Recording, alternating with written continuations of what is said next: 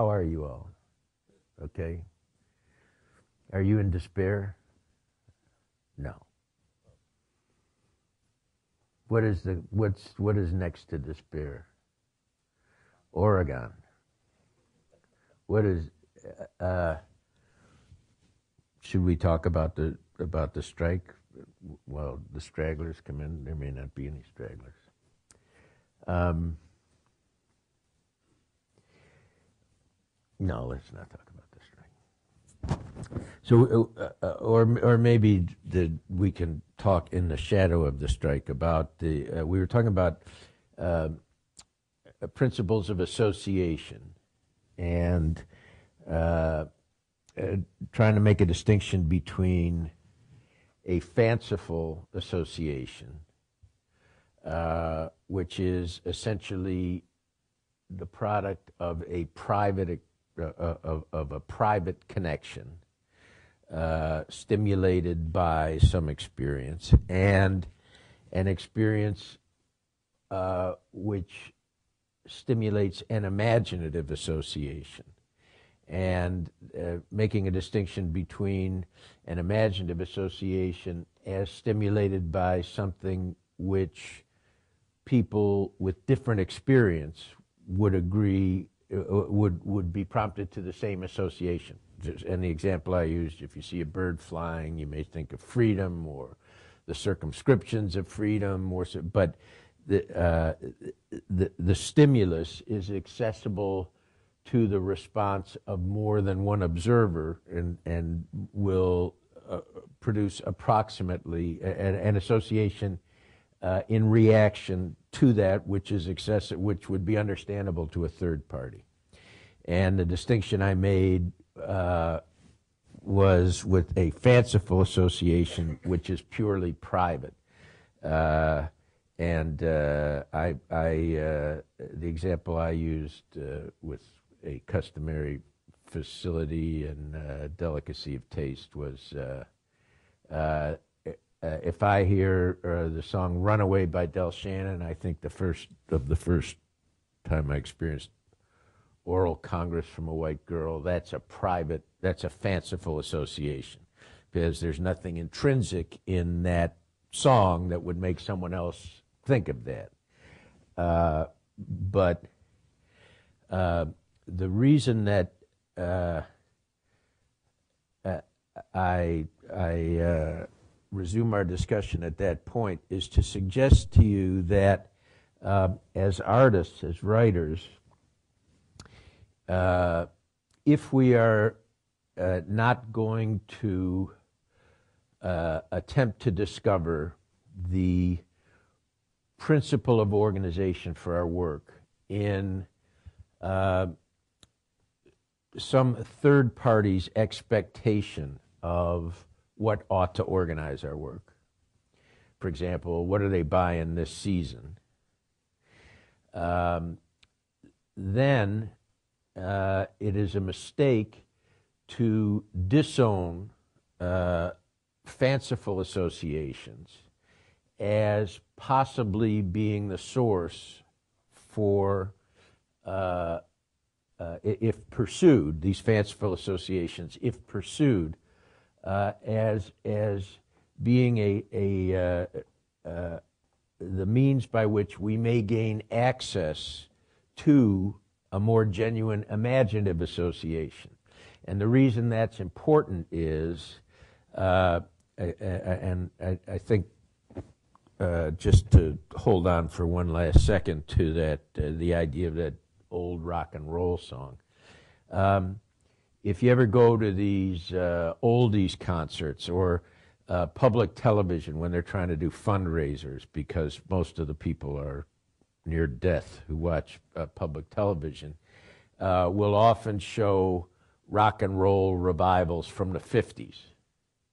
And you see these people who are still, you know, have their the ducktail haircuts, and, and and the only thing is, for the most part, they're in wheelchairs, but they're still listening to exactly the say to Danny and the Juniors singing at the hop, because for them, the fanciful association with uh, which is a private association with youth, is still so strong. And from that, we can, uh, uh, if, if we're sort of uh, sensitive to the deepest implication of that, it, it that, uh, you know, Proust, I don't know how good of a living he made, but he, but Proust, after all, is uh, still read by some of us. And all of remembrance of things past was suggested to Proust by a fanciful association, the the Madeleine, you know, uh, uh, which I get is some sort of a cookie. Um, isn't that right? Yeah, it's a cookie. Oh, by all means. I thought you were going to paint today. Yeah? Go ahead, sir.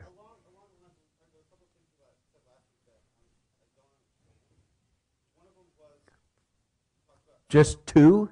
Well, there were a lot more. Okay, all right.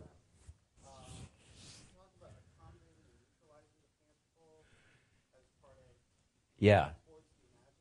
Yeah.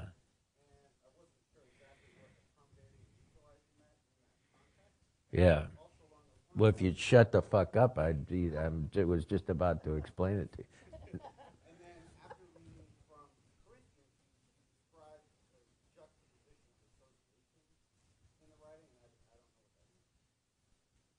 Yeah. Uh, well, uh, well, let's get to the second one uh, in in just a minute. But um, w- what I wanted to uh, uh, go on to discuss today is if if we accept as as a given that something in the fanciful uh, how, however private for us, is also compelling. For example, uh, wh- what is it in uh, these souls who go to these rock and roll, you know, to the revival of Danny and the Juniors? And, you know, there's a whole cottage industry which has developed where everybody's dead in the original group you know, the five satins or whatever it is. But they try and come up with some connection to it. And now with the lead singer who was the third from the next door neighbor to the original lead singer to Five Satins, here they are. And these doddering figures come out. Um, well, you know, youth and uh, uh, uh, I guess Thoreau said, you know, we, most of us uh, lead lives of quiet desperation and uh, and the rest of us are incarcerated and spend the time screaming. Um, so, uh, youth, uh, and uh, when Danny and the juniors or uh, others, uh, for those of you who are younger, we associate with a, that with a time when we felt anything was possible. And the idea of, for example, decrepitude or the thwarting of ambition or the yielding to the meretricious in one form or another uh, was for somebody else. Um, and the the symptom of the the the the, the outward manifestation of that association with Danny and the juniors is merely fanciful. But if you stay with it for a bit and and let the the the, the fancy sort of sink its roots down into the commonality of experience, certainly the yearnings of youth, uh, that's an association that uh, uh, is accessible to the imagination of all of us. So, uh, what, what I, what I want to suggest to you as writers, because anything that engenders a passionate connection with recollection or with feeling or uh, with image uh, is precious to us as a, as a uh, a motor for engagement. Um, don't turn away immediately from the fanciful.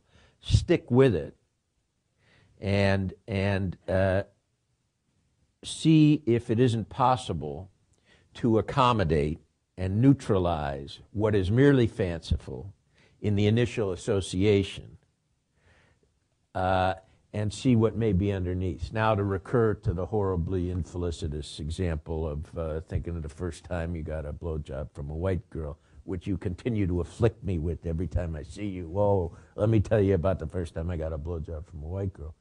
Um, the uh, for me, um, if I stick if I stick with that, if I say, well, what, what why does what what holds me in that recollection? Um, well, the corollary of it must be uh, that I'd gotten a little head from an African American, right, or somebody uh, previously, and and that part I don't remember. Well, I if provoked, I'll remember it. But but um, but when I hear music, I don't I don't remember that. Well, why is that? Uh, is it possible that uh, the previous experience was associated with uh, camp 12, 13, whatever it is, and I'm so now I go down to the the uh, uh, to William Street in Buffalo. And uh, I'm, you know, I've got forged uh, ID, and I go in and, to the bars and I listen to BB King. You could BB King used to play there three weeks at a time, 25 cents a drink. Not bad. And in between sets, you know, you'd be out in the alley, and for two dollars, you could get a blowjob from a black girl. Uh, why leave? Why ever leave, right? so, but in recollection, um, somehow memory or association is uh, trapped or thwarted or contained Whereas if, if, if you now, and, and believe me, Runaway is not as good as the worst song that B.B. King ever sang. Um, I remember he had, he didn't used to like, like to work too hard. And he had a vocalist named Elmo Morris.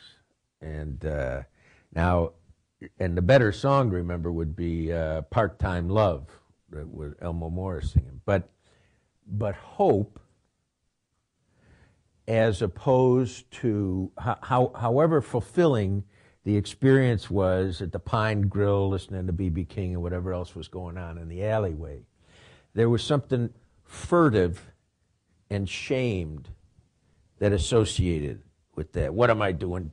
I used to I used to get caught. My mother was the president of board of education, and uh, not surprisingly, uh, I used to get uh, arrested a little bit down there uh, and uh, and does your mother know where you are?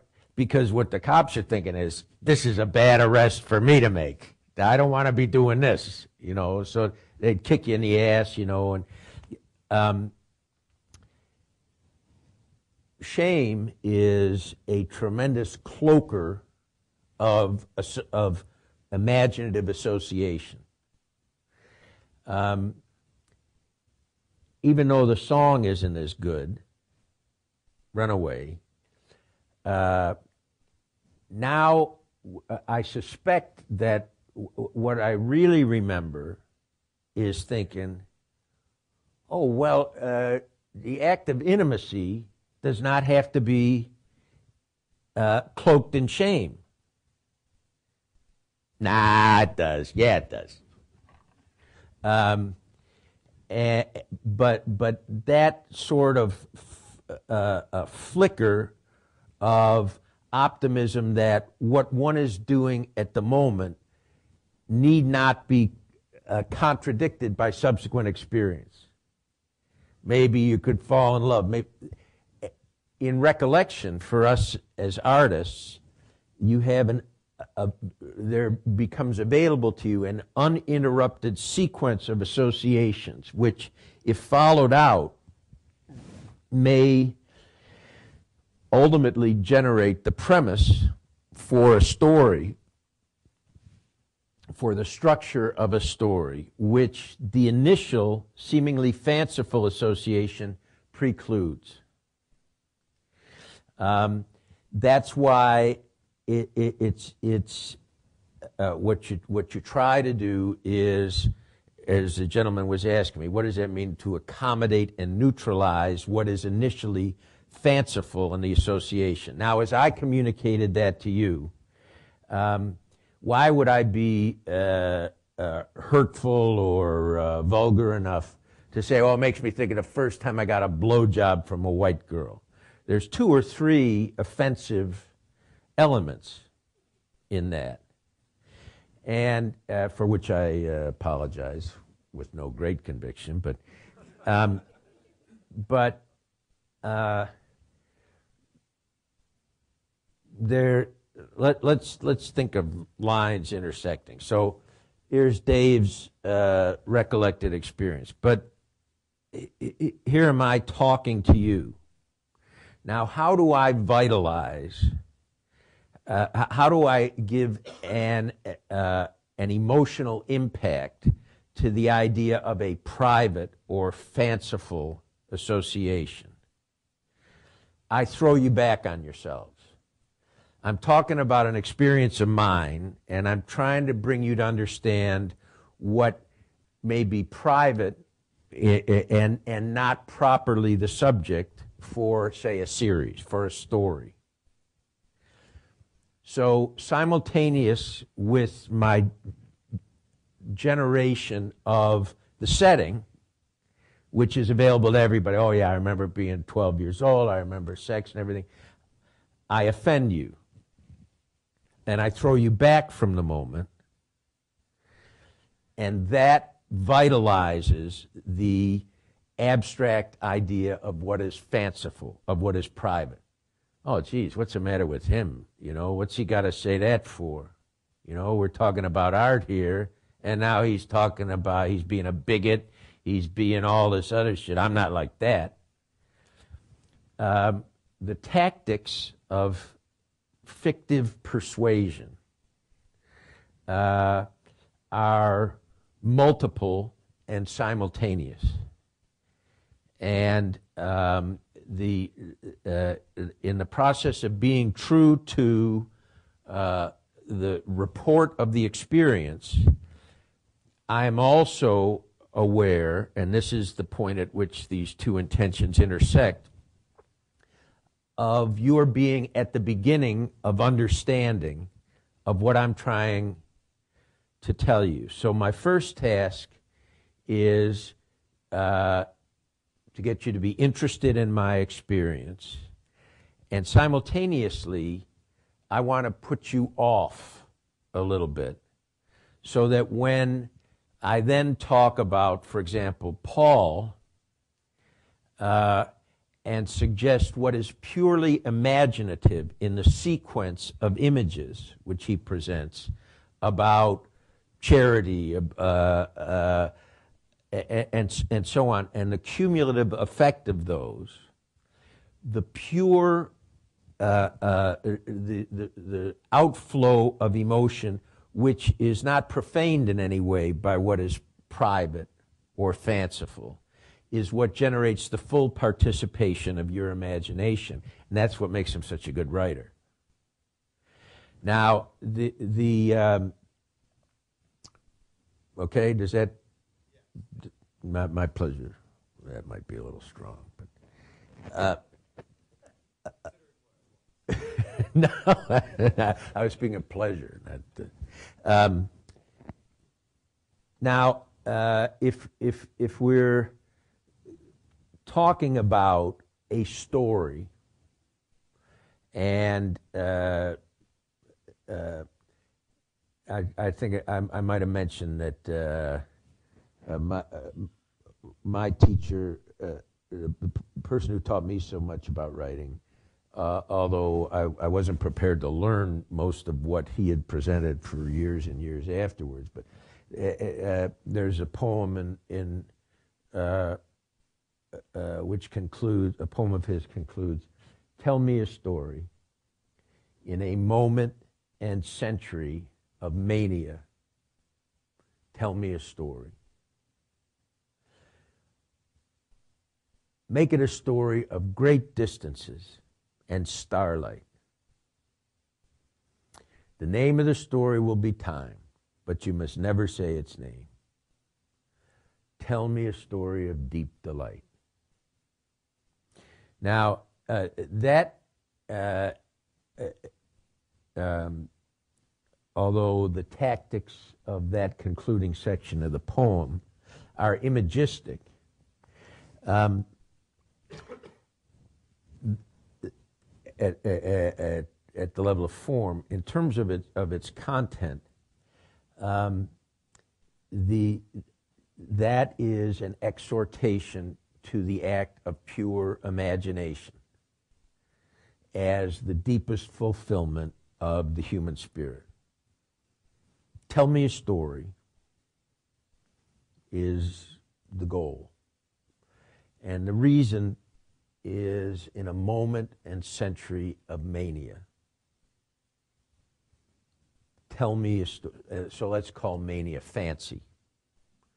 Because fancy uh, can be, for example, uh, if you're not a member of the temple, then you need to be killed. That's what Paul was prepared, and same guy that, that wrote the New, New Testament. Uh, if given to mania, would be capable of the most horrible and fundamental transgression of one spirit upon another. Uh, make it a story of great distances and starlight.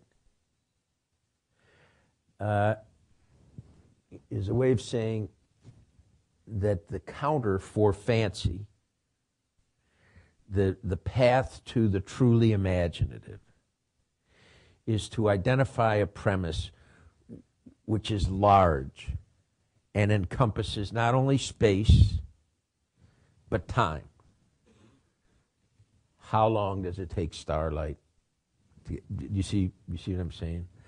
Um, the name of the story will be time because it is over what we perceive as time that the apprehension, the experience of distances and, and starlight derives its meaning for us. Um, but you must never say its name, which is to say that um, you know, the Grand Inquisitor in, in Ivan's dream and the brothers Karamazov uh, says that uh, Christ brought man a message of freedom. But man requires miracle, mystery, and authority. And the church gives him that. And in that tension, you as, then that was why the Grand Inquisitor was justifying crucifying Christ again there in Spain. Um, you must never say its name is, I, I think, therefore, uh, the, the story itself, storytelling, the submission to the story, is as close as we can get to God without coercive structure. And its coercive structure, whether it's in the temple in Jerusalem or uh, a or CSI or uh, which is to say a, a, a commitment to form as having an intrinsic authority rather than emerging naturally from imaginative association. uh, that ultimately generates mania and murder of one kind or another, that forestalls the development of the spirit. Uh, so the name of the story will be time, but you must never say its name. Tell me a story of deep delight. And uh, if we return to the original horribly offensive image of, you know, the song, of Runaway and, and so on, um, we're able to neutralize and accommodate everything which is fanciful and simply reside with that sense of original possibility that even the 70 year old man with the ducktail haircut recollects when anything was possible and uh, which contains within itself uh, that seed of hope which first expressed itself, you know, in the generation of the universe. All right, pal? Um, so uh, now I, I, had threatened uh, in carrying on from, uh, uh you know, in, in identifying, in, in chronicling, uh, you know, the fanciful associations that I had with the idea of the racetrack. Uh, the, and how, if one were to pursue the premise of the story as set at a racetrack, but to neutralize what is fanciful, private, in my experience, and to see whether there remains, once those have been accommodated and neutralized, the whether the passion remains that could generate a story over the course of time, or or whether it is in my fanciful associations that my uh, uh deep connection to the materials is found, and and which would not therefore sustain me, unless you know, I had a commitment from ESPN or some other bullshit. Um, and uh,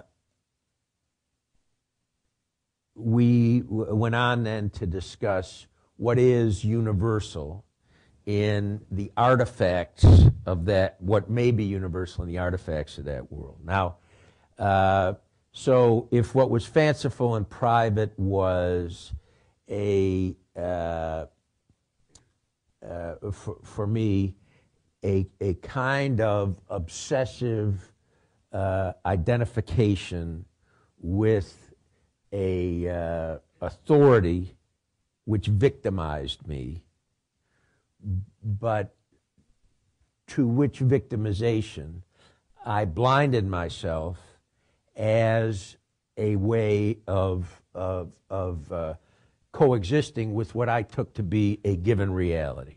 Is that sufficiently obscure for you? Um, in other words, uh, and, and so for years, uh, there was simply a seed image in my mind as I tried to write a story set at the racetrack, which was hands paying money through a wire screen and I couldn't see whose hands they were. And I used to think to myself, if I could only see whose hands those were, I would know what's going on. Now, uh, uh, over the course and uh, over the course of years, you know, uh, I would fixate on that moment and just write about it, but the extraordinary thing for us as writers, you know, is that you come up with all kinds of ways of distracting yourself from the fact that you don't really want to write about this. So, uh, sometimes uh, it would be, uh, well, there's no electricity in the apartment. So, what I have to do is I have to work out a way to run an elect, uh, uh, a plug from some hallway outlet in here so I can turn the lights on. That's a matter of a day or two. And uh, uh, simultaneously, you got to avoid the landlord, right? and maybe you're under such stress from that that you got a cop two or three times. Uh, you can make a whole life out of that. Uh, but uh, all the time telling yourself, geez, if I could only figure out uh, whose hands those were. Now, as it turns out, over years, it, it would come to me that the hands were just the hands of the teller, of the guy, and it was what was going, it was the people who were sitting at the table just out of my field of vision that it was about, and it didn't matter whether they were at the racetrack or some other place. That's how the psyche protects itself. Uh, unless it has a mechanism for the benign accommodation of what may be painful in recollection. Um, and the uh, and and once uh, through whatever sequence of imaginative developments, you're able to see what it is that that the fixation on the hands has been allowing you to avoid. It's got nothing to do with the racetrack. Um, but I spent a lot of time learning about the racetrack in order to avoid seeing who was at that table. Uh, there are bookmakers who gather at annual conventions to celebrate the amount of energy and attention I gave to learning about gambling in, in the absolutely misdirected hope that I would figure out whose hands those were. Um, let me uh, uh, uh, digress for a moment so you don't think this is a, an endless story about the racetrack.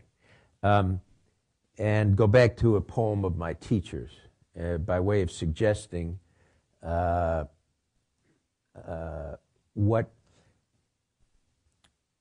one eventually comes to if, if you believe in the process of art uh, as uh, uh, cleansing and redemptive.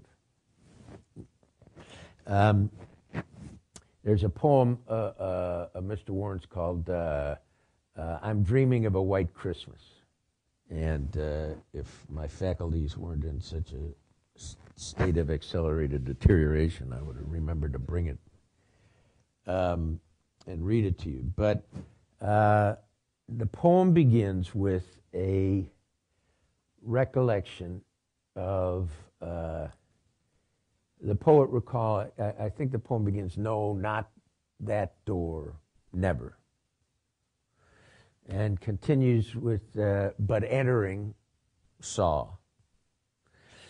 And the poet has gone up in the house, uh, into the attic of the house where he lived as a child, and and uh, and sees a Christmas tree of uh, its leaves long since denuded. It's evidently a tree that's 60 years old. And uh, if we take that tree as an equivalent, say, of the hands uh, uh dispensing the, those disembodied hands, uh, and the poet's reluctant to look away from the tree, but finally does and sees sitting in two rocking chairs uh, two uh, figures, uh, one of whom he, closer scrutiny reveals, uh, has no eyes. Uh, and whose skin has rotted away. And uh, one of them is his mother, uh, dead now for 30 or 40 years, and the, the other is his father. And their eyes stare at uh, what what would have been their eyes stare at what eyes would have seen if I still could see. And uh,